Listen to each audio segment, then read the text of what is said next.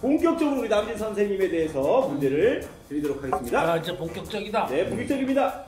가수 남진, 본명 김남진은 1945년생으로 부유한 집안에서 태어나 어려서부터 빼어난 외모로 비공자 타입이었다고 하는데요. 음, 그렇다면 어린 시절 남진 선배님의 별명은 무엇일까요? 어린 시절까지는 내가 하롱이 네, 정답은요? 막둥이. 어? 옛날에는 비 오면 막둥이라고 아, 그랬어. 귀여우면 막 근데 약간 표정이 좀 안 좋으시거든요.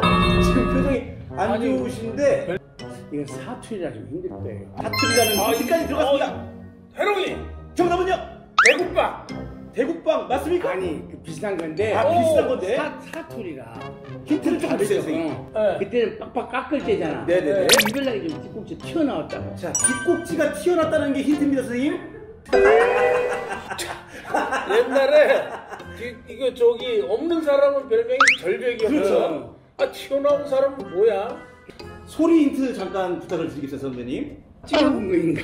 찍어본 거이, 찍어본 거이가 힌트입니다. 머리꼭지, 뭘 찍어? 뱅이? 호미? 뭐 그런 종류인데 아. 이게 사투리라니까. 이게 알 수가 없어. 그럼 정답 발표해 주시죠. 꼬치. 아, 쭉아 나오는 뾰족 나왔다고? 꼬치라고. 틀리셨습니다. 지금 별명이 별로 안 좋으셨겠어요. 어릴 때 친구라고 야 또치야 그래 지금도. 아, 이렇게 습니다 두 번째 문제 드리겠습니다.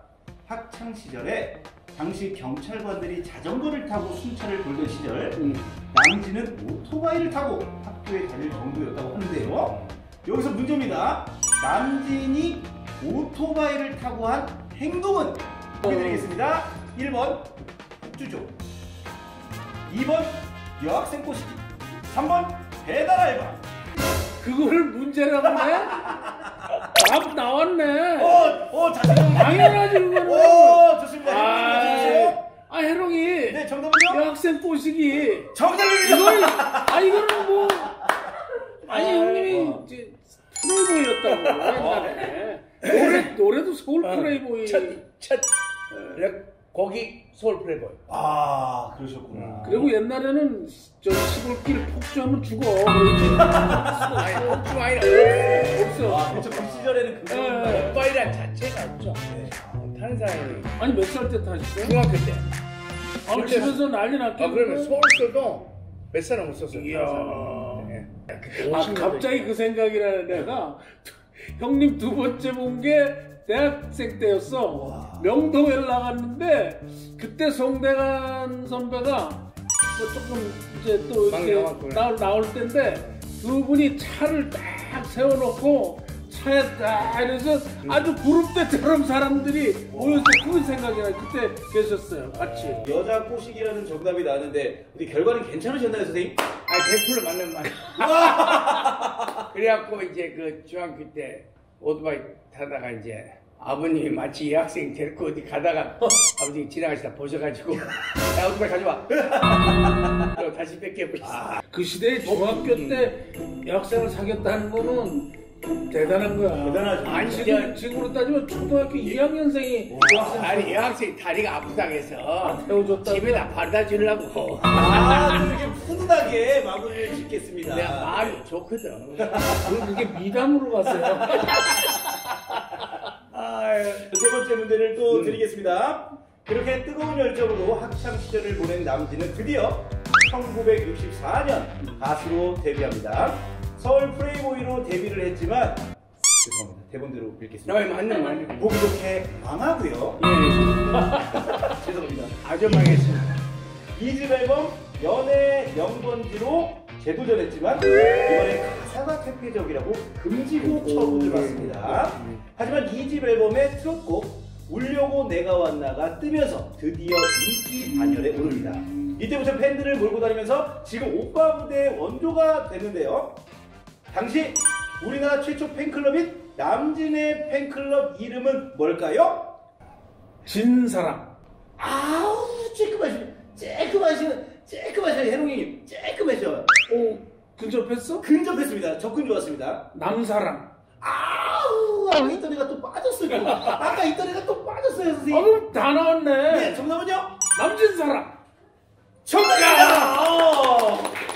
힌트를 너무 쉽게 줬다. 그 뭐 남사모 이런 것은 나중에 나왔어. 그쵸, 그런 말들은. 그래서 어, 보니까 남진사랑 순수하고 좋네.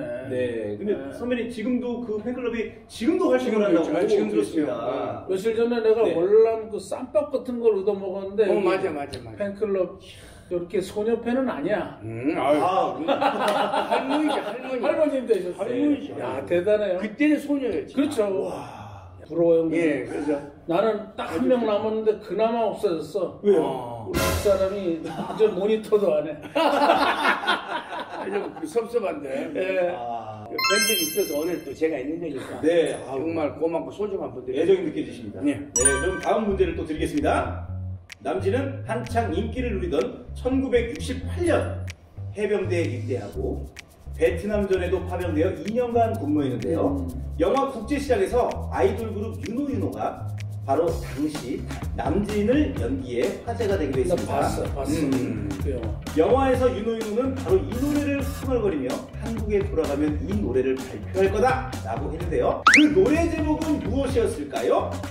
1번 1966년에 발표된 가슴 아프게 2번 1971년에 발표한 인과 함께 3번 1973년에 발표한 그대여 변치마오 4번 1983년도에 발표한 인자 아니 근데 정답이 그 안에 다 나와 있네.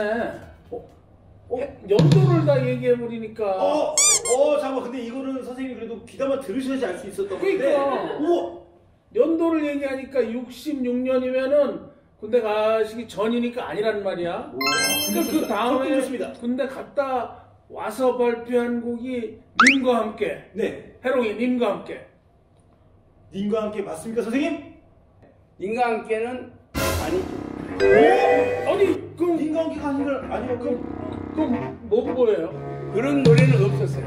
아, 답이 없죠. 그럼 퀴즈 문제를 잘못 아, 낸거 아니, 아니야? 아니, 왜냐면 오해가 받을 수 있어요. 네, 왜냐면 네. 이제 제가 거기 돌아오기 전, 이제 귀국할 때는 그냥 건강해서 살아서 돌아가고야지 외에는 아무 생각이 없었어요. 아, 그럼 그, 그 문제가 잘못된 거네? 어. 이 문제가 아무래도 저도 전달받은 영화에서 그렇게 나와. 영화에서 영화에서? 네, 네, 영화에서 아, 그걸 영화에서 얘기해요. 형님 영화를 안 보셨네. 한번 봤어.